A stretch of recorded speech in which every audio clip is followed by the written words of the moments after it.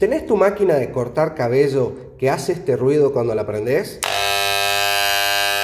Este sonido insoportable. O a lo mejor que está muy lenta y casi no corta. Bueno, te voy a mostrar el tip, ¿sí? Para que puedas arreglarlo. Una solución súper fácil es con este destornillador.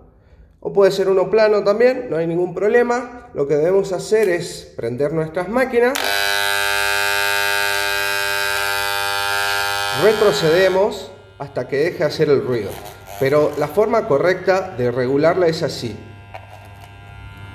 Una vez que hace el sonido, media vuelta para atrás.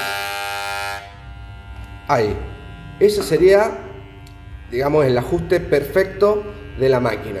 Lo mismo con esta. Lo que vamos a hacer es prenderla y vamos a ir ajustando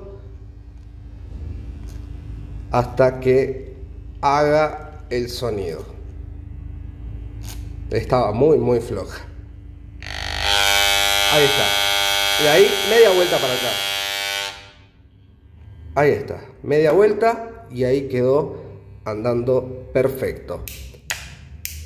A ver esta. Buenísimo.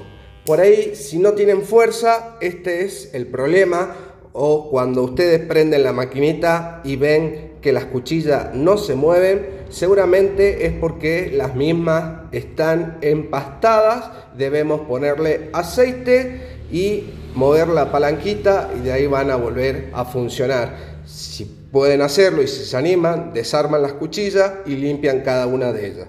Bueno, espero que les sirva el tip y recuerden la práctica hacia el maestro. Chao, chao.